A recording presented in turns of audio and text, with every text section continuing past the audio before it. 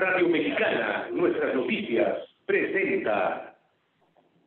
La reforma fiscal 2014 generó más de daños beneficios la- tras la frontera. La genera formalidad de las empresas es una tarea La economía americana avanza La proveeduría maquiladora sigue siendo el La gran concentración de poder de mexicano. mercado en México La transparencia gubernamental continúa México siendo talón de para producir altos Las de leyes antilavado Solo Negocios Radio, las mejores entrevistas y análisis para lograr una toma de decisiones adecuada. Contáctenos. Correo electrónico. Correo arroba solonegocios.mx Página de internet. www.solonegocios.mx Facebook. www.facebook.com diagonal solonegociosmx Twitter. arroba solo negocios. Y recuerde, no es nada personal, son solo negocios. Listo, ya estamos nuevamente como cada lunes en Solo Negocios Radio. Mi nombre es Guillermo Soria y estamos transmitiendo a través del 1300 AM. Esperemos que en unos momentos se pueda incorporar a la transmisión las redes sociales, que ahorita platicaremos de eso. Eh, esta crisis que hemos tenido durante la mañana con la caída de, de las redes sociales. Eh, buenas tardes, espero que estemos bien. El primer lunes del mes de octubre ya estamos en el último trimes- trimestre del año. Vamos a ver cómo pintan las cosas en la economía. Un trimestre lleno de inquietudes y de algo de turbulencia, sobre todo por la presentación del presupuesto para el próximo año 2022, en donde hay algunas iniciativas que hemos estado comentando en programas anteriores, eh, algunas que parecen ser que pueden beneficiar a algunos sectores de, la, de los empresarios, de los, de los negocios, de la manera de hacer negocios, pero pues que los tenemos que analizar bien, porque no todo es tan fácil, ¿sí? Acuérdense que yo insisto, me llama mucho, mucho, mucho la atención el hecho de que en los últimos años estábamos alrededor de los 300 billones de pesos de ingresos por cuestiones de impuestos, 300 mil millones de pesos. Eh, sin embargo, el presupuesto para el 2022 viene alrededor de los 700 billones, es decir, eh, más del doble, un poquito más del doble, alrededor del doble. Vamos a dejarlo para, para cerrar números en el doble de los ingresos por cuestiones eh, fiscales, por impuestos, que el, promedio que traemos en los últimos años. Eh, sabemos que en el 2021 cayó un poco, bueno, aquí en México no cayó tanto, al revés. Eh, ¿Qué hizo el gobierno para que no cayera tanta la recaudación de impuestos en el 2021? Bueno, pues se fue todo sobre las grandes empresas, auditorías, revisiones, acuerdos, para que pagaran las grandes empresas los que, lo que tenían pendiente. Eso lo estuvo haciendo en los últimos tres años. Sin embargo, ya la mayoría de las grandes empresas ya, ya liquidaron, ya están al corriente, por decirlo de alguna manera. Entonces, ahora, ¿de dónde va a incrementar? Eso le ayudó al gobierno a que en épocas en donde en la mayoría de los países la recaudación fiscal disminuyó porque muchos negocios cerraron, suspendieron labores, bajaron sus ventas, eh, en México no sucedió eso. ¿Por qué? Pues porque se, se encargó de, de, irse tras los grandes. Ahora, ¿cómo le va a hacer este año que los grandes ya pagaron? La economía está en, vamos a llamarla en recuperación. Se está hablando ahí de que posiblemente lleguemos al alrededor del 6% de recuperación económica, que a pesar de que es una recuperación, todavía estamos en números negativos a como estábamos al principio de la administración. Recuérdense que técnicamente pues ya estaríamos en, en una recesión porque ya llevábamos varios trimestres en, en ceros, eh, con cero de crecimiento y cuando eso sucede, pues en nos vamos a, técnicamente ya es una recesión. Entonces, eh, el hecho de que eh, cuando veníamos en ceros y luego se cae la economía por la cuestión del COVID, pues nos fuimos hasta el sótano. Entonces, este 6% que posiblemente se recupere este, este año, 6.1 me parece que traen ahí pronosticado, eh, como dijo alguien eh, por ahí que escuché, algún comentarista financiero, dice ya más bien, uh, uh, no parece tanto un, un este, estudio sin ser eh, serio, a veces parece que nada más es un, eh, como que para que el, el, gobierno escuche lo que quiera oír, este, eh, eso nos está provocando que, que pues lo, no sea tan confiable esos números, ¿no? esos números, esas, estas, estos pronósticos para cierre año, pero vamos a suponer que nos recuperamos en la economía en alrededor del 6%, eh, aún así todavía vamos a estar en números negativos. ¿Qué significa eso a mí? ¿Eso qué le interesa a mi negocio?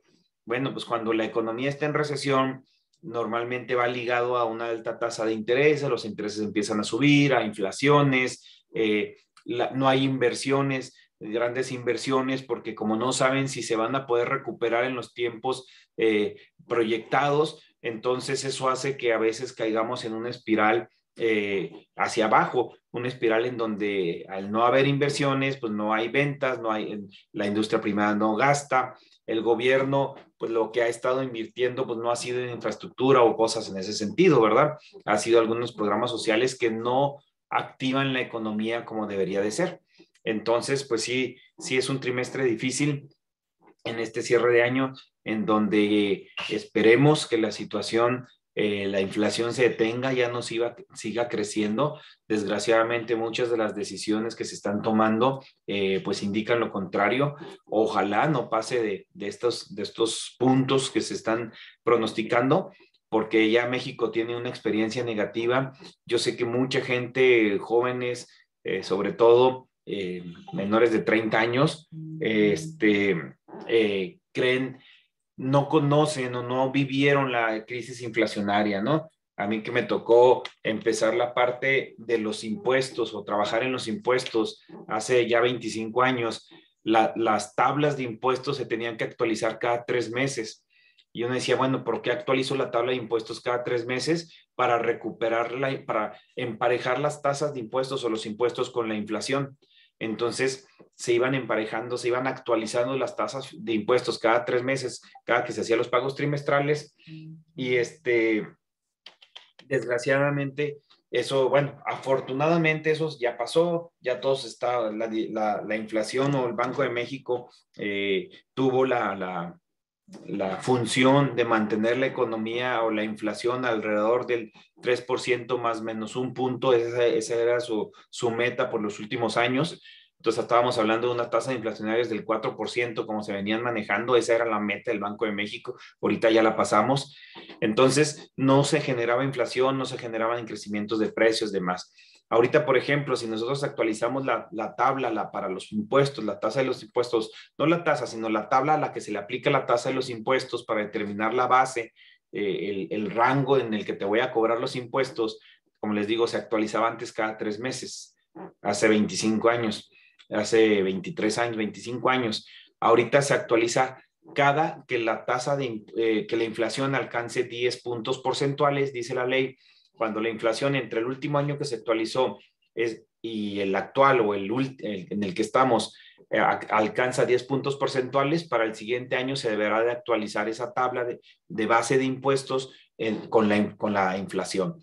Eh, ha habido ocasiones en que en tres años no había sido necesario actualizar esa, esa tabla, ¿verdad? Porque estábamos alrededor del 4% o 8%, pues hasta el tercer año superábamos el 10% y bueno, los impuestos se tenían que actualizar al siguiente año. Y entonces, tristemente vemos que eh, pues todo pinta para que este año se, se tengan que volver a actualizar esta, estas tarifas o esta tabla de impuestos. Entonces, hay que cuidarnos, porque todo eso genera inflación. Nosotros como país ya lo vivimos hace, unos años, ya sabemos que eso de que los precios estén variando semana con semana, mes con mes, a veces día con día algunos, es desgastante, aparte de que el, que pierda la moneda, este, su valor, de que queremos comprar algo y no nos alcanza porque eh, suben los precios a cada rato, lo vemos en países este, eh, del sur donde pues qué, triste, ¿no? Que ya le tuvimos comentar a los pesos, los ceros a los pesos, y ya eso no lo queremos volver a vivir. Pero bueno, eh, quiero platicarles eh, que vamos a tratar el día de hoy en los segmentos que nos quedan, un tema muy importante, lo han estado platicando todo, ahorita aquí en los previos de, del programa lo, lo mencionaron, ¿qué son eso de los Pandora Papers? ¿Qué, ¿Qué significa? No sé si lo han estado escuchando les digo, eh, se, fue, se fueron las redes sociales durante toda la mañana. Eh, espero que ahora las empresas hayan sido más productivas que en días anteriores, puesto que no tenían Facebook, no tenían WhatsApp. Eh, ¿qué, crisis está, está sucediendo con esto, no? Eh, por ejemplo, aquí en, mi negocio, el, personal de ventas lo, me dijo, ¿qué está sucediendo? Necesito contactarme con unos clientes. Lo hacemos por WhatsApp, ya estamos tan acostumbrados. Se nos olvidó que antes la forma de comunicarnos era pues eh, por teléfono, hablar directamente, escuchar su voz. Y yo les digo, a mí me gusta mucho que, que, lo hagan, que no nada más mandemos un correo o un mensaje de, de, WhatsApp y luego a ver qué me contesta. ¿Por qué? Porque quienes trabajan en el área de ventas sabrán que cuando escuchamos eh, la voz, los tonos de voz, las expresiones, podemos saber a veces si el cliente está de acuerdo, está aprobando o no está aprobando, hay alguna desaprobación en cuanto a las propuestas que estamos haciendo. Desgraciadamente, cuando lo mandamos únicamente por correo o por texto, no sabemos qué está pensando el cliente. A lo mejor él con toda calma va y cotiza en otro lugar. No hay la forma de, de, de, hacer ese proceso de cierre de ventas si lo hacemos por teléfono. Eh, a mí me gusta mucho, y yo insisto en decirle aquí a mi personal que después de mandar el correo, eh, marquen y les digan, ya recibiste el correo, tienes alguna duda, lo comentamos y, aclarar dudas, porque a veces, y me ha tocado gente que recibe un correo electrónico o una cotización por, por correo o por texto, no le entiende y ahí la deja. Y pasan los días y de repente a lo mejor lo cotizan por otro lugar o ya pasa la necesidad y perdemos esa venta, ¿no? Y ya cuando después de varios días, oye, ¿qué pasó? ¿Cuál es el estatus de esta cotización? Marcan y, ah, no, ya no lo quiero, ya lo compré, o se me hizo muy caro, o pensé que era de esta forma y a veces ni siquiera era eso, ¿no? Entonces, eh, que esto nos sirva como una lección de que no podemos depender únicamente de las redes sociales para, para trabajar. Han venido a convertirse en una ventaja en una disminución de costos, en ampliar nuestros mercados de venta eh, por todos lados, pero no tenemos o no debemos de depender de las redes sociales para trabajar. Lo estamos viviendo, ya tenemos varias horas desde que como a las nueve de la mañana se cayeron las redes sociales, se saturaron. Dicen que hubo un mensaje el fin de semana unas, en, en las redes que generó una sobretráfico y saturó los servidores y los colapsó. Esto se pasó al Facebook y este, parece que en Instagram también, ¿no? Todos son pues, prácticamente de la misma empresa, así que pues, tuvieron, debieron de haber tenido un fallo en la tecnología. No quiero saber si hubo algún responsable, qué les va a pasar, porque imagínense los millones de dólares de pérdida en estos, en estos sucesos. Entonces, eh, pues que nos sirva de lección, hay que aprender, siempre recuerden que como dicen, de las crisis debemos tener oportunidades y a lo mejor es una oportunidad para hablar con nuestros clientes, conocer su voz, eh, visitarlos o de alguna manera tener un contacto diferente. Hoy estaba escuchando un, programa en donde hablan de, de los pagos electrónicos a través de los celulares y a través de los wallets y a través de las páginas de internet cómo se ha incrementado a, través, eh, a raíz del COVID el, uso de estas tecnologías para cubrir necesidades de pago sin efectivo, porque no salimos, porque lo hacemos por medios electrónicos, por los pedidos y nuestras compras, pues lo vemos con, con los, los, las páginas o las apps para solicitar comida, paquetería, hasta para ir al mandado ahora, ¿no? Entonces, ¿qué estaba sucediendo? Pues que la gente eh, incrementó, se disparó el uso de las tecnologías electrónicas o digitales para el pago. Entonces, una pregunta que le hacen a, unos expertos eh, en una empresa líder en cuanto a cobro a través de las tecnologías de informática, eh, que, ¿qué pasa si el efectivo tiende a desaparecer? Y dice, mira, el uso del efectivo sí va a disminuir considerablemente, pero va a ser muy difícil que desaparezca. Y pone un ejemplo, ¿ah? Allá en algunos, un país, no, no, me acuerdo si era Holanda o este, uno de esos países europeos donde pues tienen un nivel cultural, económico, tecnológico muy alto, este, estaban ya casi por desaparecerlo cuando en algún momento el gobierno se dio cuenta de que no era una buena eh, práctica y empezó a fomentar el mismo gobierno el uso del efectivo y el que la gente tuviera efectivo eh, en reservas, es decir, ten un ahorro, ten un, ahora sí que ten un guardadito en efectivo. Si se llegan a colapsar los sistemas de cobro, como pasó hace unas días o unas semanas con el banco, uno de los bancos más importantes de México, que es BBVA, este, se colapsó por unas horas, no podíamos pagar, no podíamos cobrar, no podíamos checar saldos, no podíamos hacer transferencias. Imagínense lo que está sucediendo ahorita, que durante medio día, un día, nos quedemos sin sistema financiero por un colapso como el de las redes sociales, pues es un problema porque a lo mejor ni siquiera comida podemos ir a comprar, no podríamos echar gasolina y demás. Entonces, la tendencia es que el efectivo sigue funcionando. Vamos a un corte y ahorita eh, regresamos y seguimos platicando de esto. Gracias. Vamos a un corte en cabina, me avisan.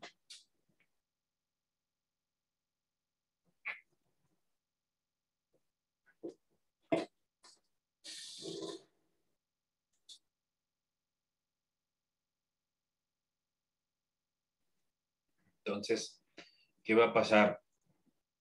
¿Qué va a pasar? ¿Cuál es la tendencia en los... Imagínense ahorita que estamos viendo eso.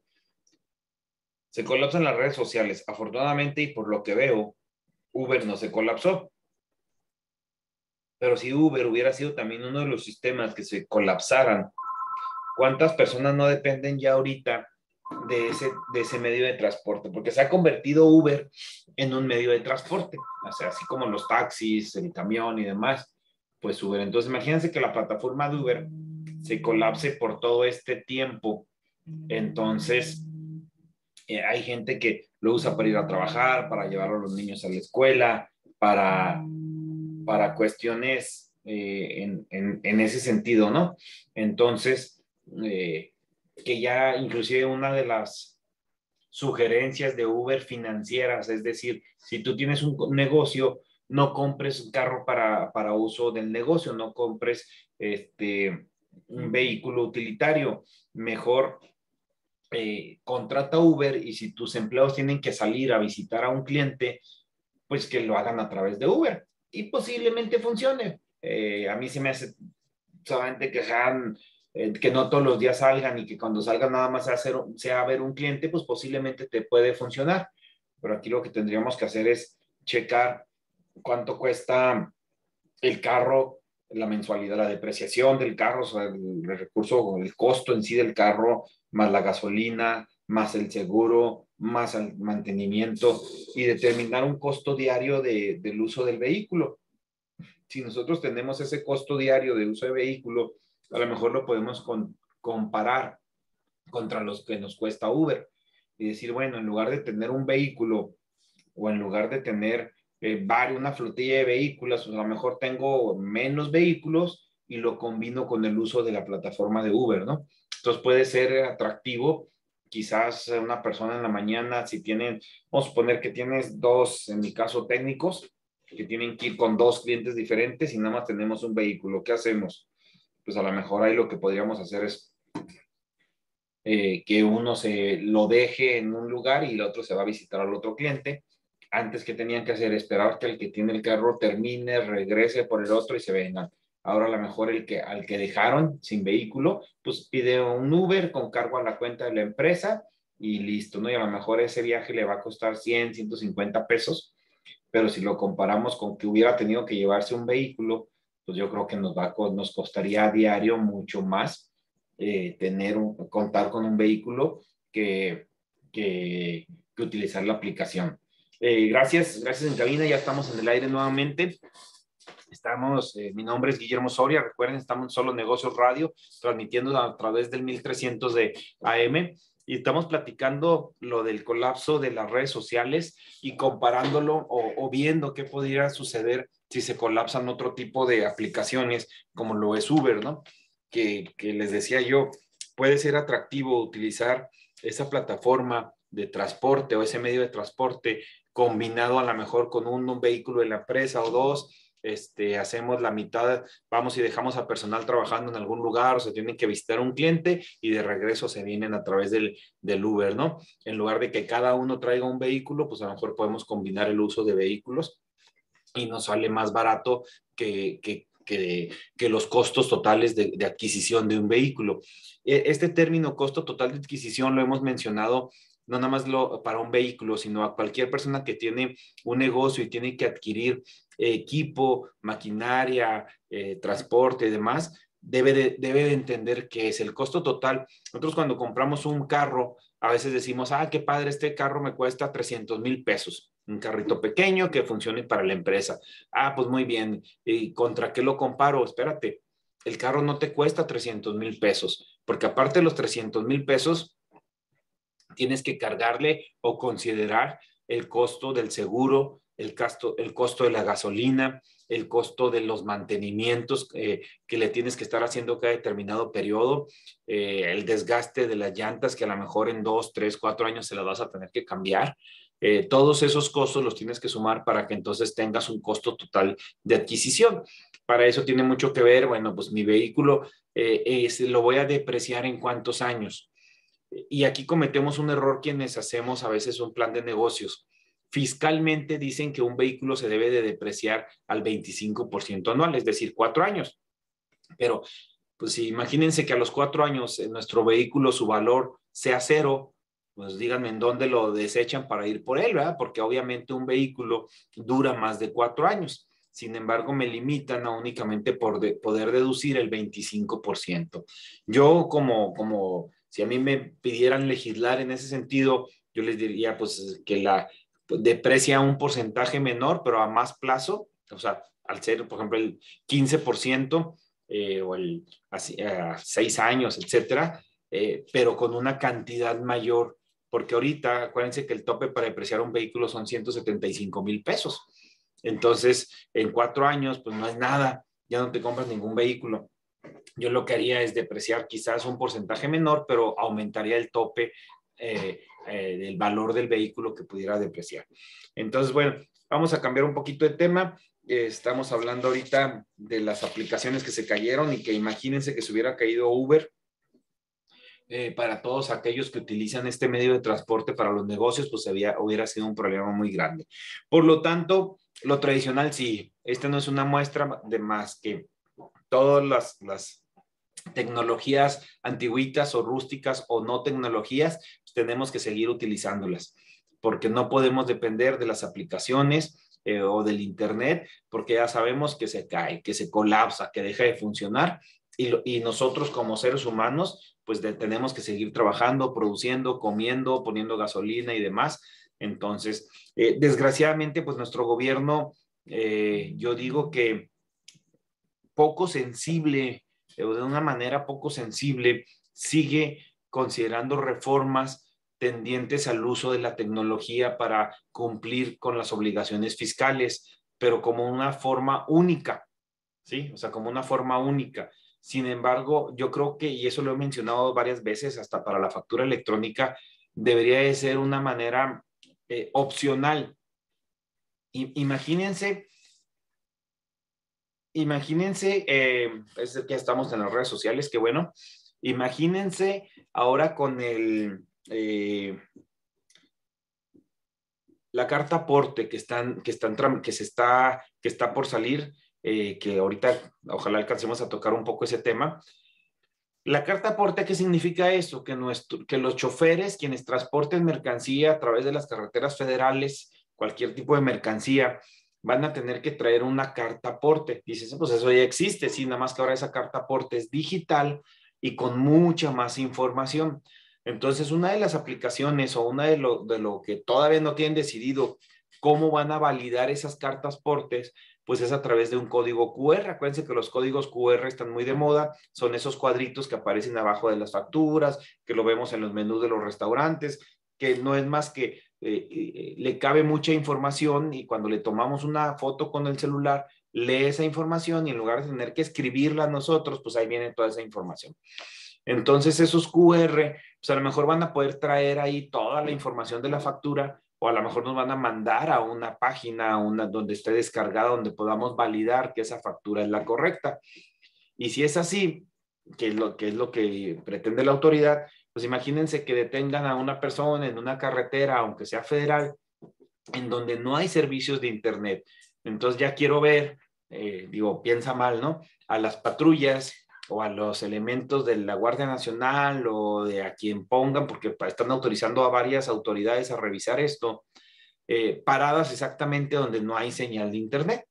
y por alguna razón llegan, te detienen, le piden al chofer, enséñame tu carta aporte, aquí está. Dicen que ellos van a traer unos lectores de, de QR, que al final de cuentas el celular puede convertirse en un lector, pero necesitas la señal para si te tienes que ligar a descargar o a visualizar la información del QR, pues necesitas, vas a tener que necesitar el Internet. Entonces, ¿qué va a pasar si, si, eh, si no tenemos y luego le van a querer decir al chofer que la información que viene en la, en la factura no es la correcta, que es falsa, que no sirve, etcétera, etcétera. ¿A qué se podrá prestar eso? Digo, vivimos en México con todo el dolor de mi alma y hay gente sin, sin escrúpulos que no le importa dañar la economía de las pequeñas empresas o de las grandes empresas con tal de llevarse un dinero fácil, ¿no?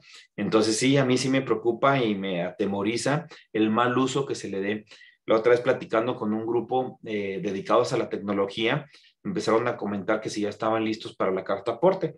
Eh, yo comenté que, pues sí, pero desgraciadamente eh, es un abuso de la autoridad en cuanto a la cantidad de información y de regulaciones que le está poniendo a los transportistas y también a los usuarios formales o comerciales de, de, los transportes, porque antes tú podías mandar o podías enviar productos únicamente con una remisión o con un ticket o demostrando de alguna forma tu propiedad, pero ahora lo vas a tener que hacer con tu CFDI. Entonces, eh, con el CFDI, pues tienes que, generar eh, eh, una factura electrónica y efectivamente tienen razón. Alguien dijo, oye, es que pues nosotros estamos acostumbrados a hacer todo de manera informal y eso cuesta, ¿no? Pues sí, eso se prestaba para que yo hiciera una compra no pagara el IVA, no me la factures y me la envías por paquetería con una remisión sin valor, sin precio, pero que indicaba qué es lo que tenía o le ponías el precio que quisieras,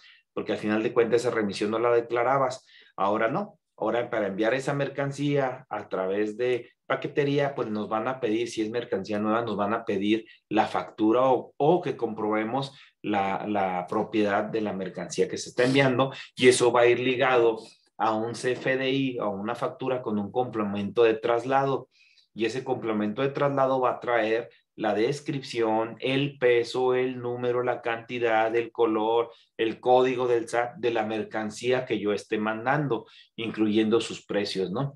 Entonces decía alguien por ahí, no, es que yo no quiero que mis choferes sepan que llevan. Bueno, pero van a llevar una carta aporte que va a traer un código QR si no la traes impresa, va a traer el código y con un teléfono lo puedes leer, pues tus choferes van a traer que, van a saber que llega, ¿no? Entonces aquí es donde yo digo, la autoridad está utilizando la, la, la, la tecnología, qué padre, pero de una manera obligatoria, como si tuviéramos las mejores redes de, de Internet en el país, la, la velocidad más rápida de Internet en el país, que nunca se cayera, que el 100% del, del territorio estuviera cubierto, cosas así, o que todo el mundo tuviera una computadora funcionando, eh, donde sabemos que a veces hay computadoras que pues, se atoran, les, hay un virus, hay este, eh, no es la más nueva, hubo una actualización de Windows en la mañana, te bloquea tu equipo, ya deja de funcionar, en fin, son cosas muy, muy feas que, que, que que le suceden a las empresas y al gobierno y todo, porque por ahí dice también un amigo que la tecnología no tiene honor. Entonces, sí es cierto, la tecnología, tú puedes estar ahorita, podemos estar trabajando aquí y se va el Internet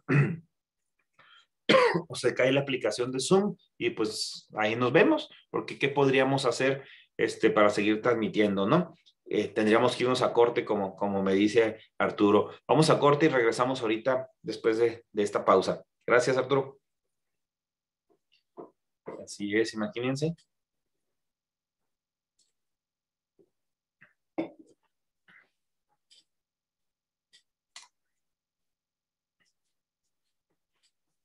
Pues seguimos transmitiendo, parece ser que estamos transmitiendo en, a través de YouTube para que se quede grabado este, este programa.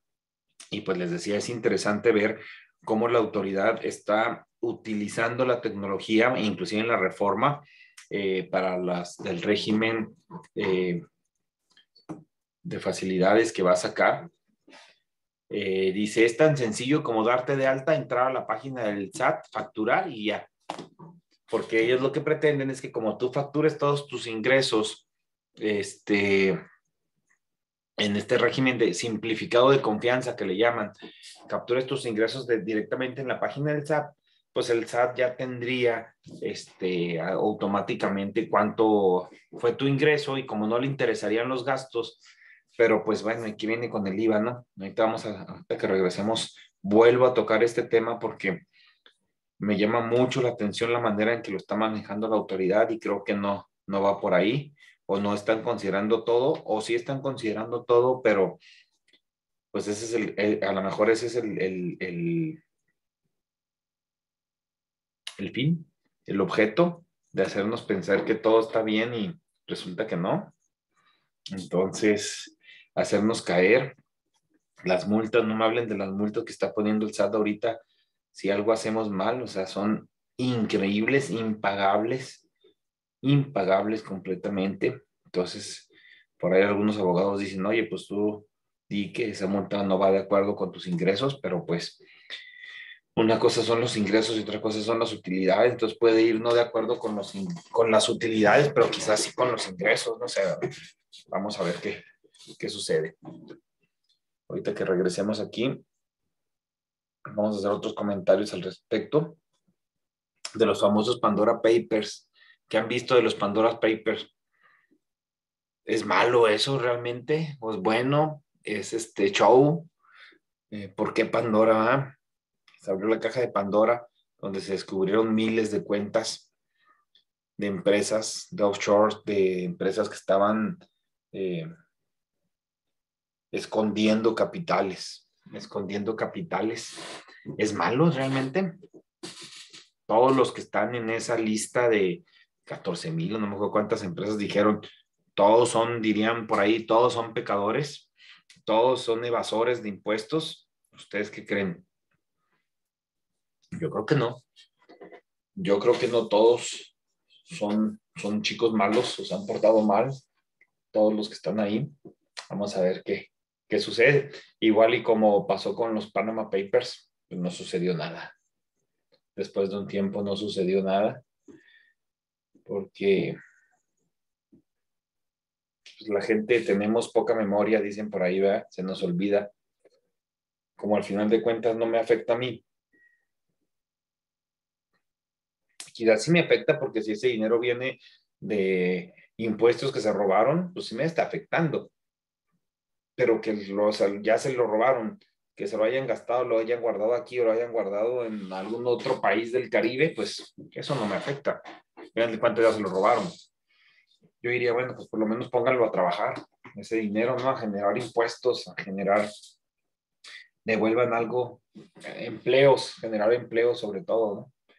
Entonces es, eh, es difícil. Entonces, eh, regresando, ya estamos aquí al, aire. Gracias, Arturo. Estamos nuevamente al aire en el 1300 AM.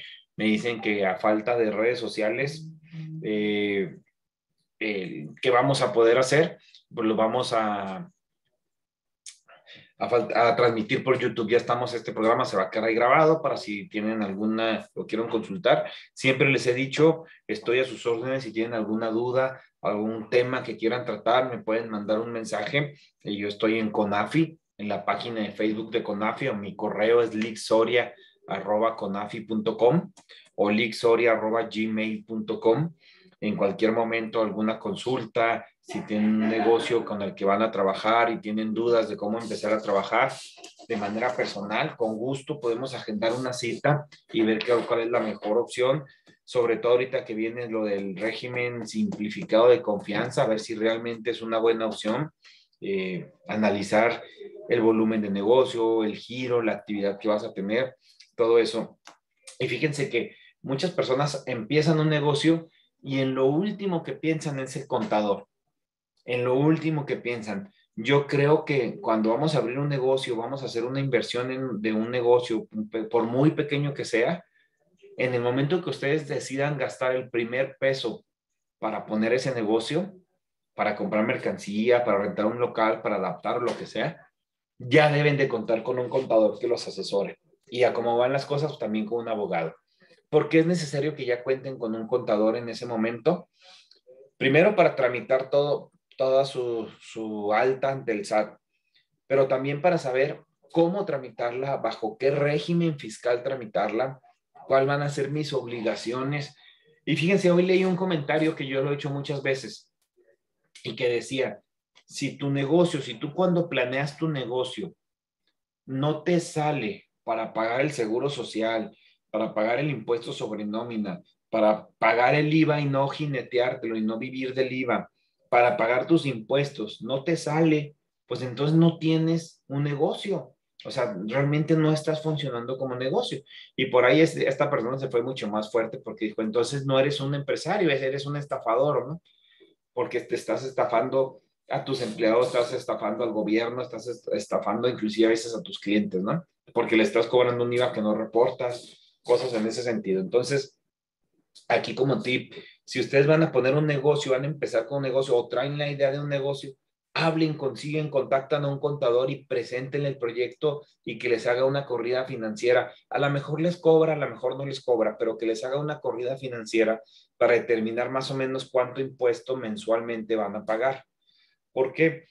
Porque tienen que ver que el flujo de efectivo del negocio les dé para los gastos, para las compras y para los impuestos que tienen que cubrir, para el pago del seguro social, para el pago del Infonavit, del, del Afore, del impuesto sobre nómina. Tienen que conocer todo eso, porque no es posible que tú decidas ponerle precio a un producto que tú vendes nada más porque se te antoja que ese precio es bueno y a lo mejor no funciona. El otro día en un grupo de personas que tienen dueños de cafeterías decían, ¿cuántos cafés debo de vender para que sea bueno mi negocio? Pues eh, no te puedo decir, no hay una regla porque a lo mejor un negocio pequeño, 20 cafés, eso ya con eso cubre sus costos fijos y, su punto de equilibrio, y a lo mejor otro necesita vender 100 o 200 o 300 cafés para llegar al punto de equilibrio. Entonces, no es lo mismo el impuesto que se paga si estás en la frontera, si estás en el interior. ¿Qué sucedió? Muchos restaurantes o muchas cadenas que están a nivel nacional mantuvieron los mismos precios. Eh, no sé, quiero pensar a propósito de café. Eh, yo no veo que la cafetería tenga un precio diferente en Ciudad Juárez que en Chihuahua. ¿Por qué? Porque pues al final de cuentas a nivel nacional sus programas, sus precios, todo están con el mismo dinero, con el mismo costo más el 16% de IVA. ¿Qué pasó aquí en la frontera cuando le dicen nada más le vas a pagar un 8% de IVA? Ah, pero el precio lo sigo dejando igual. Entonces en realidad estás dando un producto 8% más caro para muchos negocios salió, o para muchos clientes de algunos negocios, salió contraproducente bajar el IVA porque no se vio reflejado en los precios. Se vio, eh, seguimos con el mismo precio final, aun cuando la tasa del IVA es el 8%. Algunos otros sí. A mí me gusta mucho el sistema que utilizan aquí nuestros vecinos del Paso, en donde te ponen los precios sin impuestos y al final de cuentas tú ya sabes que le tienes que calcular el impuesto. Desde la primaria te enseñan a hacer una multiplicación. Entonces tú en el momento en que sepas cuánto es, pues lo multiplicas por el, la tasa de impuesto, ya sabes cuánto vas a pagar. Ya que si pagas al 8 o al 16, bueno, pues ya ese es otro boleto, porque la diferencia entre el 8% y el 16% es muy grande. Entonces hay que tener cuidado con eso. Pero bueno, regresándome con lo de los Pandora Papers, yo les decía, híjole, ¿es malo? O sea, son delincuentes todas las personas que están ahorita balconeando, porque eso es lo que están haciendo. O sea, al final de cuentas, eh, ya ha habido varias Panama Papers, los Leaky, Leads, eh, eh, todas esas investigaciones donde se han robado información porque en algunos casos se han robado información, en otros al final de cuentas hicieron una labor de investigación, copiaron, no sé cómo la sacaron, porque supone que toda esa información debería de ser estrictamente confidencial, hasta por motivos de seguridad. Este, y pues los, los medios, la prensa internacional hizo esta investigación, la soltó y, y pues, ¿qué sucede? ¿Van a meter a alguien en la cárcel? Metieron a alguien a la cárcel con los Panama Papers, pues hasta donde yo creo que no, o si estuvo, estuvo muy poco tiempo y solamente que se haya muerto, pero de vergüenza porque lo balconearon, pero normalmente la gente que hace cosas malas en ese sentido, pues vergüenza, vergüenza no tiene, ¿verdad? Entonces difícilmente se mueren de vergüenza. ¿Qué, son, ¿Qué es esto de los Pandora Papers? Bueno, pues al final de cuentas es un grupo de de, personas, porque no vamos a poder decir empresarios ni políticos, puesto que hay políticos, deportistas, artistas, cantantes, empresarios, herederos, este, gente que tiene ciertos recursos y que dice, oye, es que yo en mi país, por tener ese dinero en mi país, pago muchos impuestos. Acuérdense que aquí en México, si nosotros tenemos el dinero invertido y ahorrando, va a generar una tasa de impuestos y la tasa de impuestos no se le aplica a la ganancia de intereses, se le aplica la base que se invirtió para ahorrar. Entonces, pues dices, oye, pues a lo mejor es mucho el impuesto que se paga en México y yo mejor me voy a otro país donde se paga el 0% de impuestos, ¿qué te parece?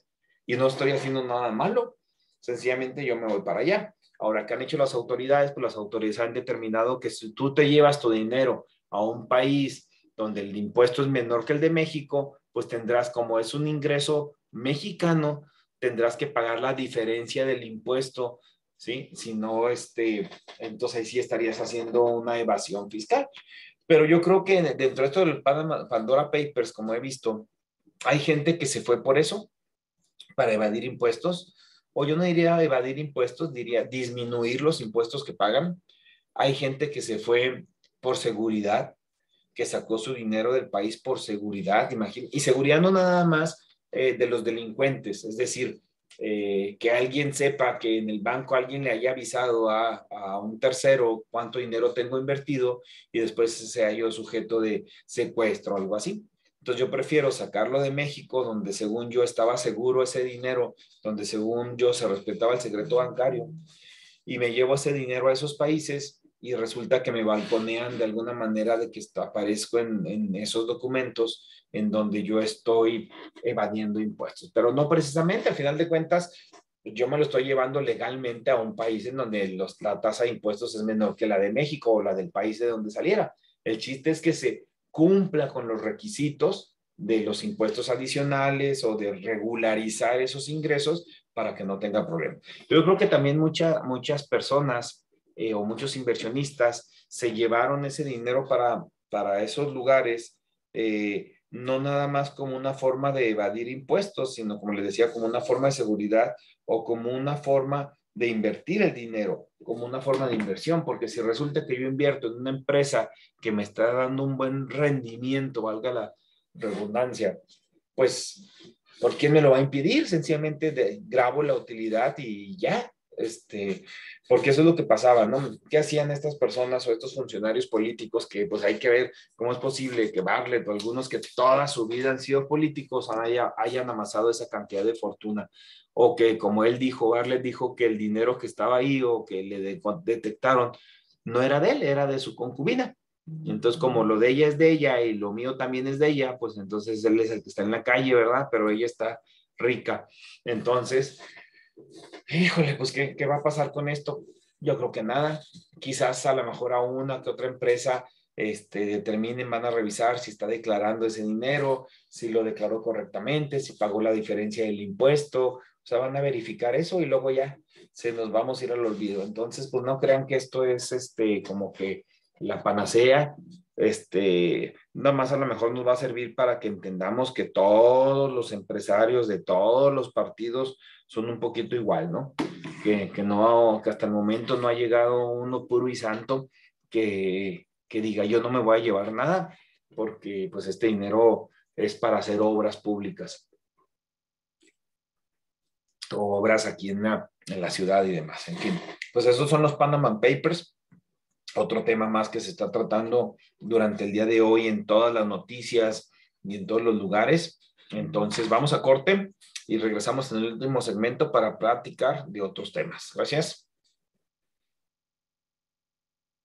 Un corte.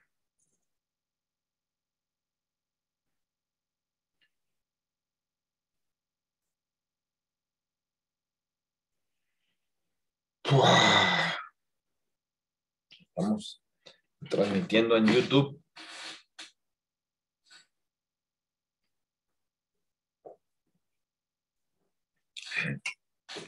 Entonces, ¿qué va a pasar con estos Pandora Papers? Pues es un quemón para muchos, artistas de todo el mundo, políticos de todo el mundo, pero también inversionistas.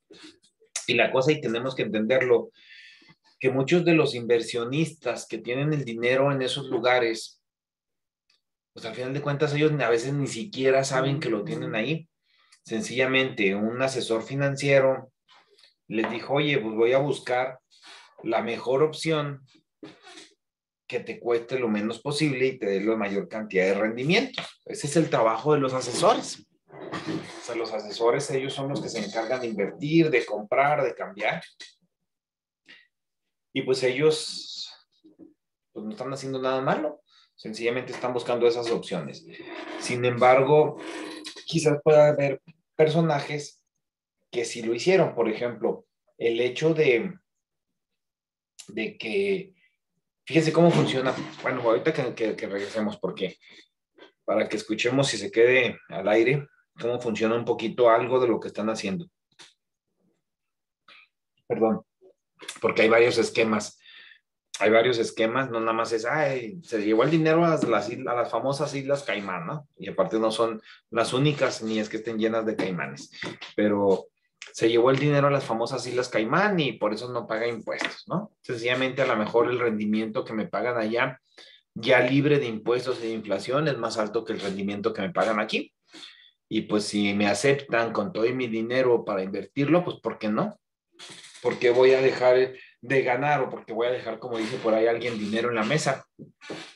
¿Sí? Si al final de cuentas es legal y yo puedo invertir allá en aquel país, en aquellos países, me van a pagar más impuestos, pues lo hago. ¿Sí?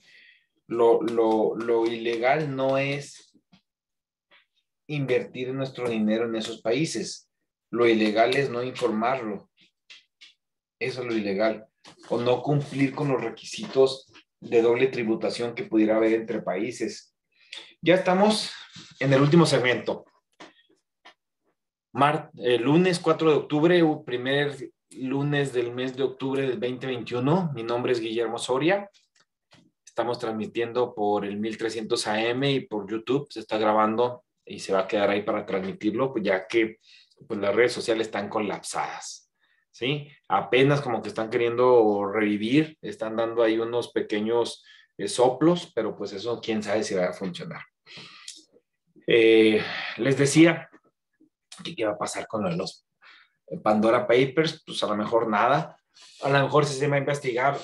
El chiste no, no es que se investigue que los tienen invertidos, o que pagan poco de impuesto porque los tienen invertidos. El chiste es que se investigue de dónde salió ese recurso si me dices, oye, Elton John, ¿de dónde sacó esos millones? Pues, pues sabemos que eso cobra, ¿no? Y no creo que, que los, el IRS o los departamentos de impuestos de, de, los países donde está, donde trabaja, pues no lo sepan y no le hagan unas retenciones y demás. O sea, eso es lo de menos.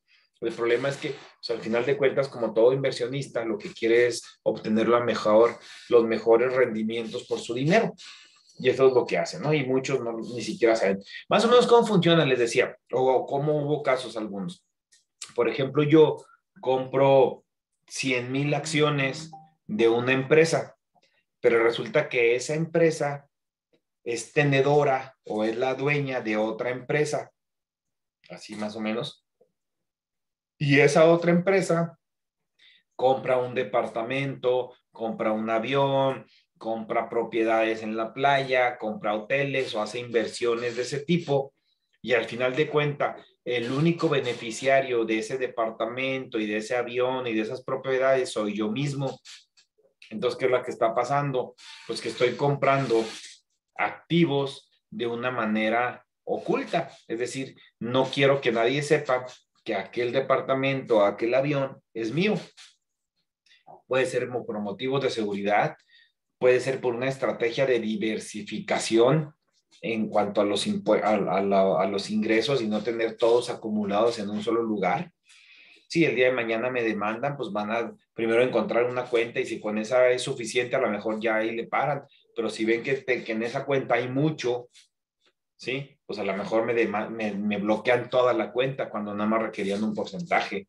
O sencillamente si no encuentran en ese momento las, todas las cuentas donde yo tengo mi dinero, pues a lo mejor me, nada más me van a bloquear una y las demás no.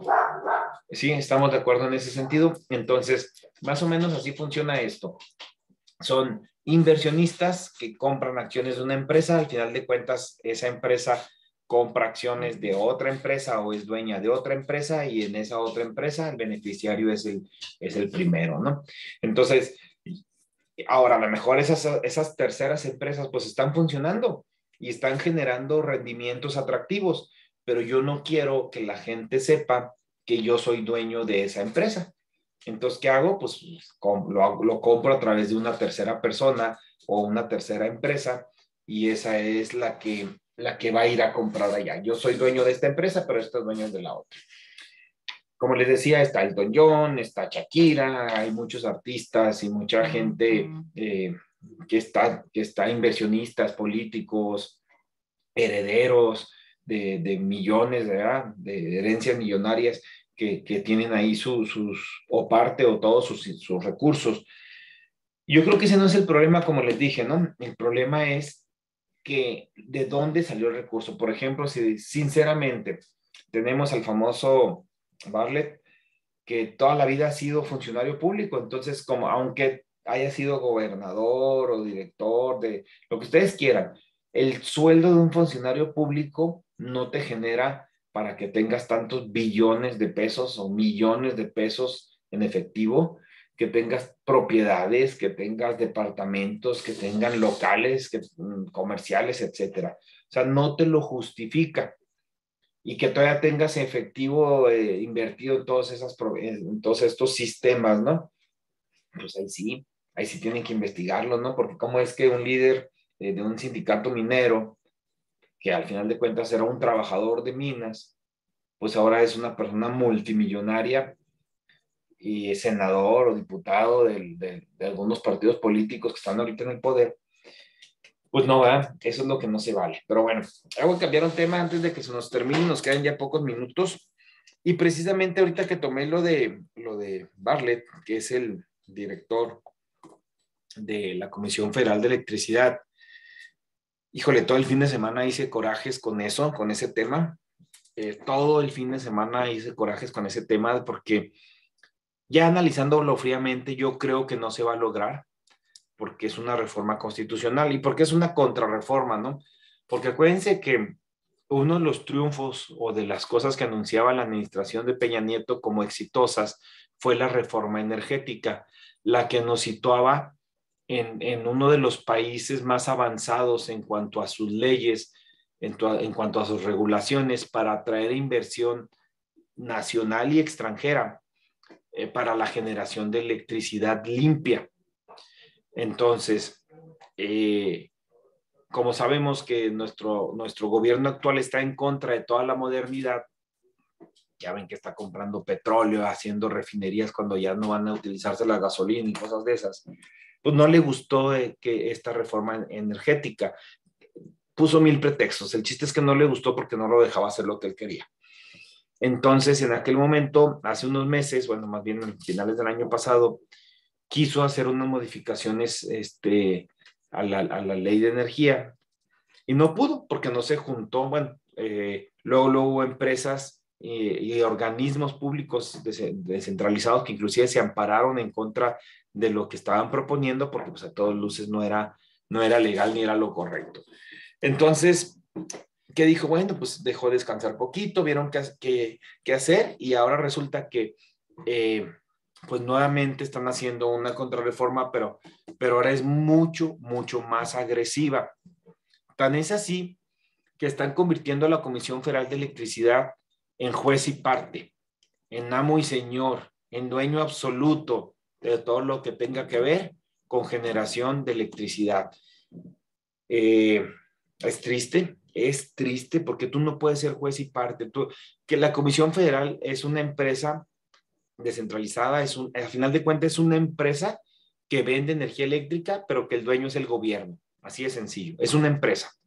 Entonces esa empresa que te da un servicio y te vende un servicio y te cobra por ese servicio, no puede ser la empresa que se autorregule. Para eso existía la comisión, el, el CENAR, la Comisión Regulatoria de Energía, organismos que regulaban a las, a las empresas que se dedican no nada más a la Comisión Federal de Electricidad o a la generación de energía, sino a, los, a todo lo que tiene que ver con los hidrocarburos, el gas, el petróleo, cosas en ese tipo, eh, para la, la, generación y suministro de energía. De por sí ahorita la CFE es la dueña del 100% del cableado del país, de la red, del porteo, le llaman ellos si yo genero energía eléctrica, pero la genero en Samalayuca y la voy a usar en mi oficina, yo le tengo que pagar a la Comisión Federal de Electricidad por traerme la energía eléctrica desde, la, desde Samalayuca hasta aquí. ¿Qué es lo que hace la, cómo funciona eso? Pues entonces la, la energía eléctrica que estoy generando la cargo al cableado de la comisión para que la use en donde quiera, ¿sí? Y yo la que llega aquí a Juárez descargo, utilizo esa, esa energía y al final lo que le voy a decir a la Comisión Federal es, yo generé 100 megas, kilos, lo que ustedes quieran, tantas, tantos watts de energía y utilicé 50. Ah, pues entonces Comisión Federal de Electricidad me debe el equivalente a 50. O al revés, yo utilicé 100, pero generé 50, pues ya nada más pago por los 50 que me faltaron de generar. Así es como está funcionando y así es como funcionan las celdas solares. Yo siento que alguna de las cosas que, que, que pasó y que ya lo venía a venir es que hay fraccionamientos ya enteros que tienen celdas solares. O sea, que ya todas las casas o el 90% de las casas tienen celdas solares. Entonces, ese fraccionamiento que tienen refrigeraciones, que tienen alto consumo de electricidad, no está pagando recibos electrónicos. Pero no es porque, porque no esté pagando, es porque están generando electricidad que la comisión a través de su sistema de, de red de cables que hay, la lleva a otros puntos donde de todas maneras la está produciendo en algún lado, con carbón, con gas, con hidroeléctricas, con, con algo la está produciendo. pero nosotros le estamos ayudando a que se satisfaga esa demanda, que no vengan apagones por exceso de demanda como sucedió el año pasado. Este sucedió menos, sucedió pero mucho menos que el año pasado. Estamos generando electricidad y de una manera limpia. Si yo la estoy generando aquí a través de las celdas solares, pues a lo mejor no tienen que ponerle usar tantas horas de gas en una central de gas, de generación de, electricidad a través de gas. Entonces, pues al final de cuentas, eh, eh, ese es un punto importante. Otro punto importante es que los costos que tiene la Comisión Federal de Electricidad para generar la electricidad, o sea, eh, contra el más caro están como un 30 o 40% más caras la Comisión Federal de Electricidad. Hay algunos que están a la mitad o menos de la mitad. Entonces, ¿qué sucede? pues que estamos generando energía barata, cosa que nos está prohibiendo hacer ahora la Comisión Federal de Electricidad. Entonces, el, el, siguiente programa voy a tratar de tener un especialista para que nos platique de esto. Con esto nos despedimos ahora. Recuerden que esto no es personal, son solo negocios. Mi nombre es Guillermo Soria y nos vemos el próximo lunes. Listo.